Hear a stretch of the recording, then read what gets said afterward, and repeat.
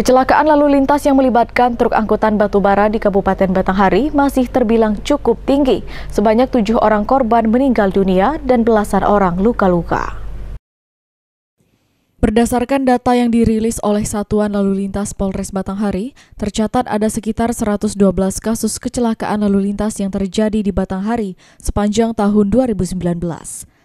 Dari ratusan kecelakaan tersebut, terdapat 41 orang korban dinyatakan meninggal dunia. Kemudian 83 orang luka berat, 92 orang korban mengalami luka ringan, serta kerugian material ditaksir mencapai 261 juta rupiah. Selain itu, untuk kasus laka lantas yang melibatkan truk angkutan batu bara selama tahun 2019 tercatat sebanyak 13 kasus.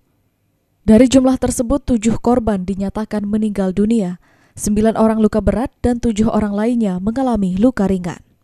Kasat Lantas Polres Batanghari, AKP Nafrizal menjelaskan, kasus laka lantas truk angkutan batubara ini tentunya menjadi perhatian pada setiap tahunnya. Hal ini menyusul banyaknya keluhan masyarakat mengenai lintasan truk batubara yang kerap menelan korban jiwa serta menyebabkan kemacetan arus lalu lintas. Ada 13 kasus yang meninggal dunia ada tujuh, kemudian luka berat ada sembilan, luka ringan ada tujuh berkaitan laka yang melibatkan kendaraan batubara.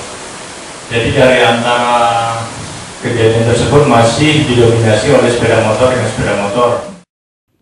Dari 112 kasus laka lantas yang terjadi selama tahun 2019, masih didominasi oleh kecelakaan sepeda motor, yakni sebanyak 62 kasus.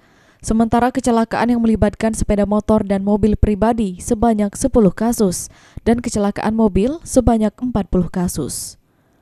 Purwadi Firdaus, JEK TV melaporkan.